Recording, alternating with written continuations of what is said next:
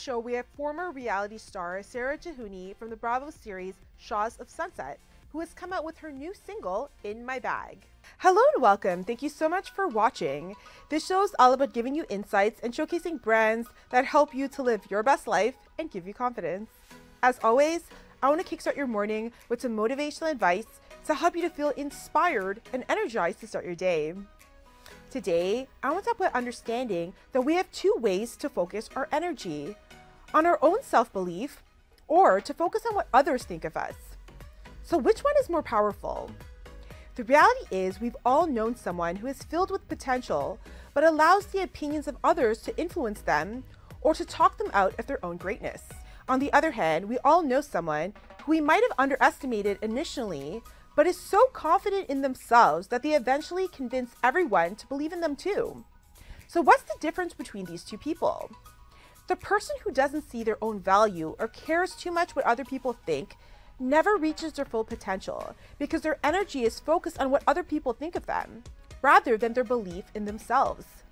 Yet, the person who chooses to believe in themselves with complete conviction is able to silence the critics and instead tap into their own belief system of knowing their worth and capabilities.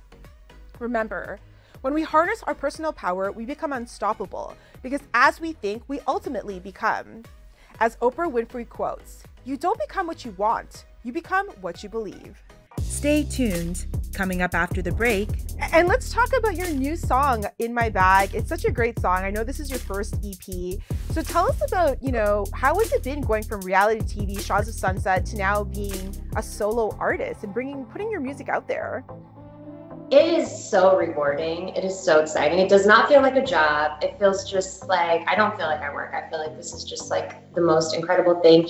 And you know, um, in my bag is just such a fun song. It's so good. I feel like I it's the first song off my EP that's coming out at the beginning of 2024, and it's like the last song I did for my EP. So I've just been very hyper focused on my career, and I just felt like you know the day I got to the studio that day, I was just feeling like on a high. I felt like I was really loving the music I was creating and the EP as it was coming together, and I just kind of felt like you know I was in my bag.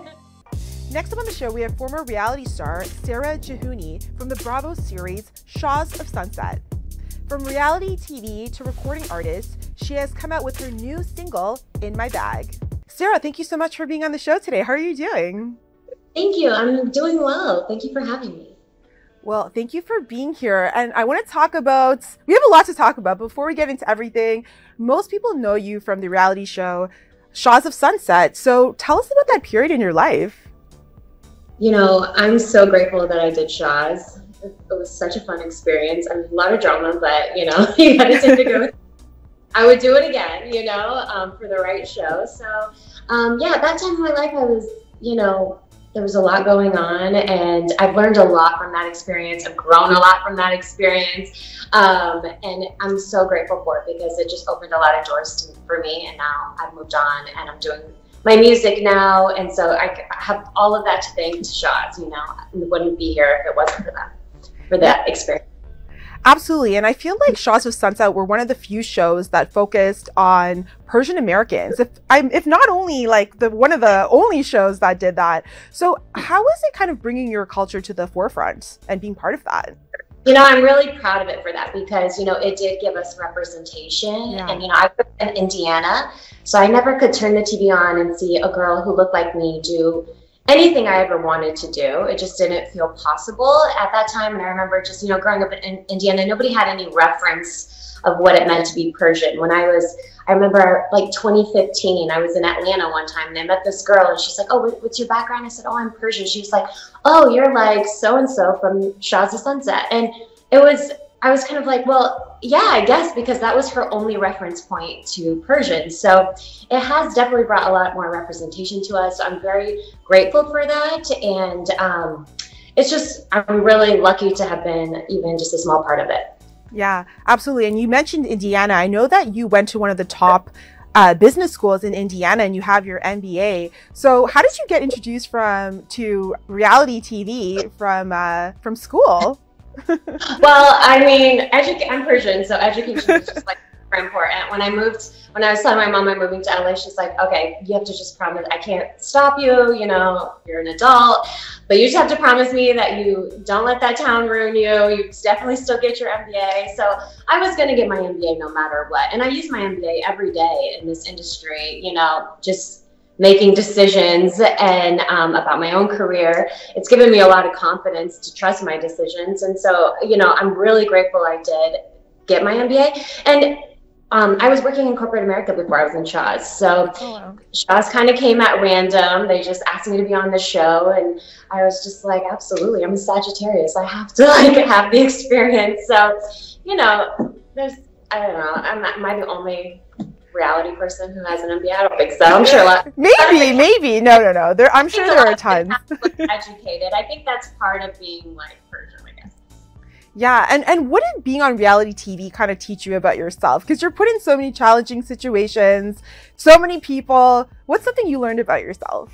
Yeah, being on a reality show, it really teaches you a lot about yourself. You get to see yourself in the eyes of others.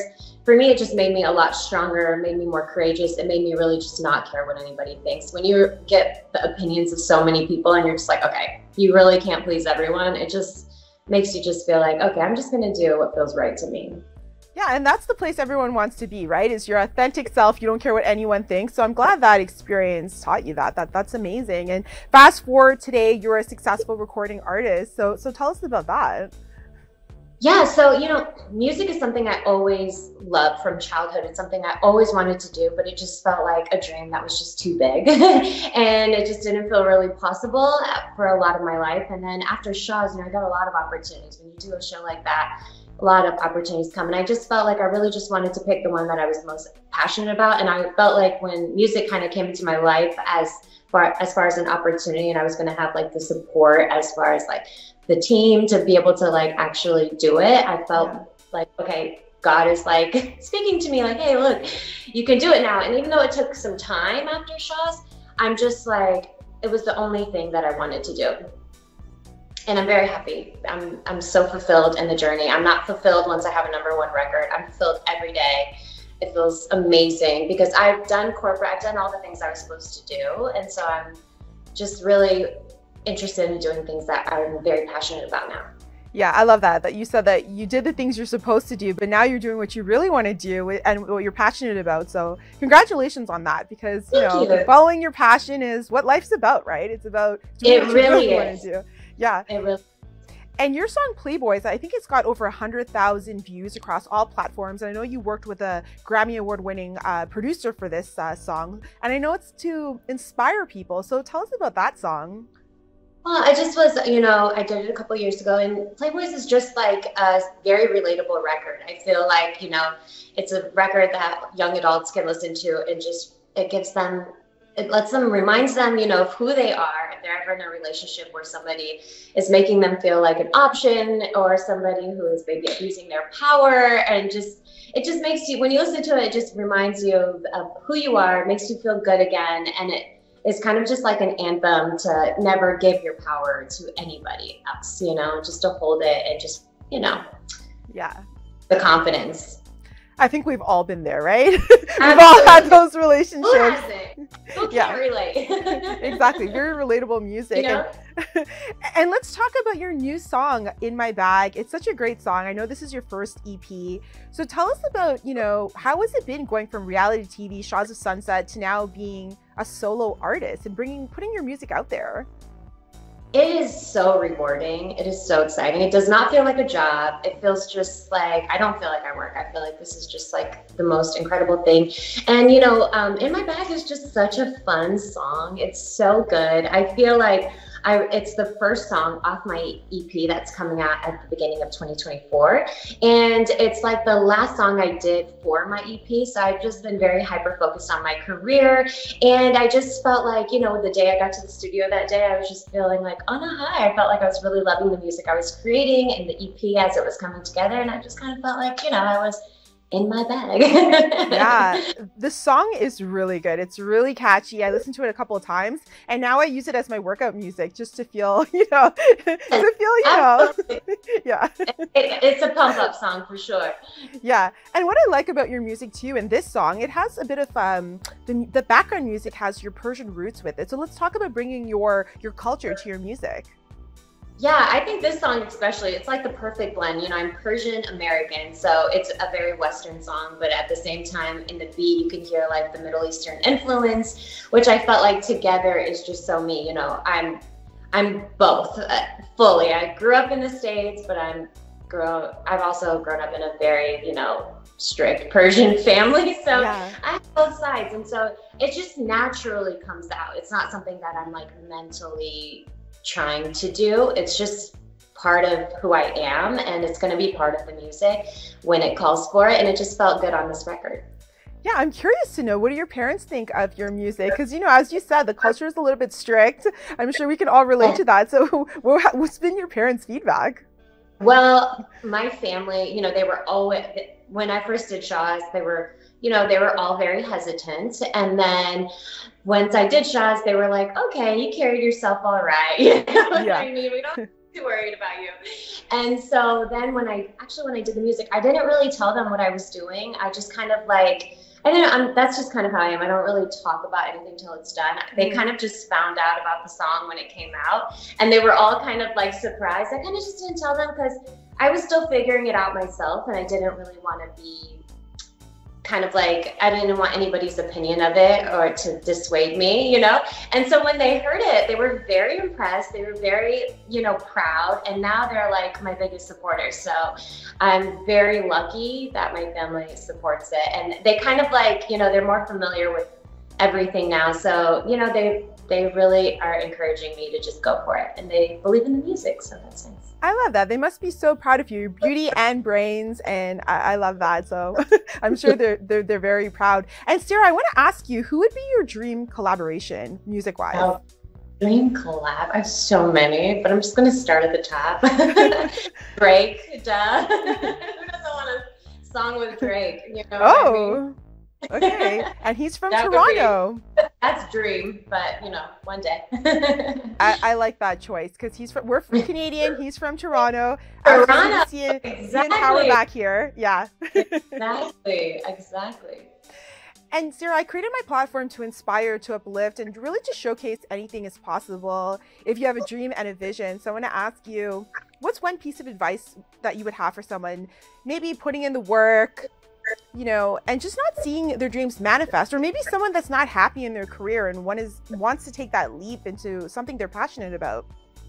Well, I say I'm a big advocate advocate for changing and transitioning careers if you're no longer fulfilled. I don't think somebody it it doesn't really make sense to me for one person to work the same job for 30 years. You know what I mean? Yeah. So I think people evolve and I think it takes sometimes experience and for you to have the courage to you know not everyone at 21 years old has the courage to make these risky leaps you know they haven't had enough experience. So i'm big on just going for it. I also worked in oncology for a while so i've seen how like precious life is. So i'm so such a big proponent. I just think you know if you're doing it just make doing anything that's your dream just make sure you're doing those dreams for the right reason because it is a tough journey takes a lot of sacrifice and it takes time. And i think that people you know i think we live in a time where everybody wants instant gratification. So i just think that you know if you're just aware that things take time and you're doing it for the right reasons because if you're only doing it for like monetary or the attention or for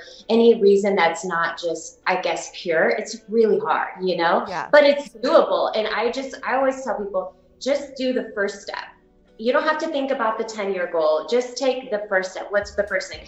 Enroll in that class or enroll in that thing, learn the skill. Just do this. Just get the LLC. Just do the first step and then the next step and then the next step and just break it up and don't think about it so because it can if you just try to think everything at once it's just overwhelming i always just do the next step right now all i'm worried about is my ep then i'm going to worry about what's after that the next song then just that's all i'm doing and if you break it up into baby steps it's so much more doable and i would also say one more thing that just be mindful of who you share your dreams and visions with because you know not everybody is going to be as courageous as you and you know support that or understand your calling or your dream or what you want to do. Not everybody's going to get it. And i think when dreams are you know in their infancy stage they're so fragile that i think you know it's best to just keep it to yourself and to the people who actually you know have done it or can give you advice because they've been there and you know until you really kind of get it going before you really start to share with people. Because it,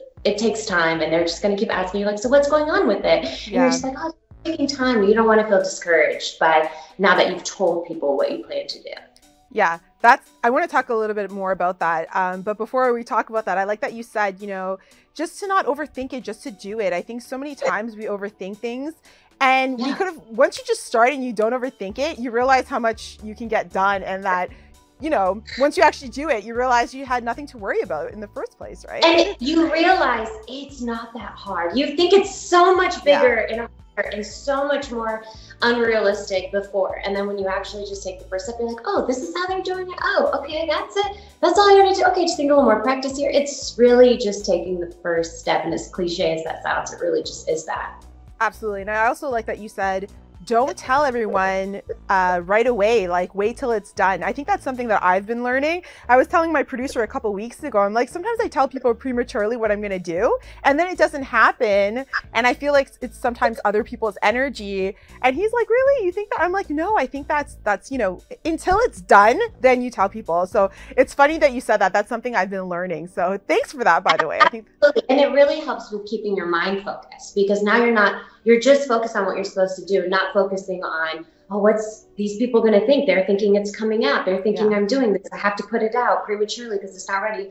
Nobody, if nobody knows, you take your L's in private. You know what I exactly, mean? Exactly, exactly. And then you show them at the end, and you're like, "Look what I've done." You're right. I, I love that. And Sara, what else is in store for you? What else are you working on?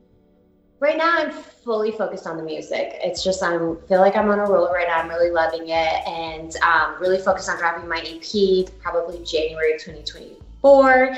And that's that's my biggest focus right now, and just getting the music out there, letting people hear it, and just making more. Very nice. Well, Sara, thank you so much for being on the show today. I love this song. We're going to put the links below too for your music so people can listen to it. Such a catchy song. Congratulations. And uh, we look forward to seeing your full EP in January. So it's exciting. Thank you so much for having me. I had a wonderful time. TAG TV is available on Roku, Amazon Fire TV, Apple and Android TVs, as well as on Apple and Android phones. Watch live through YouTube and Facebook.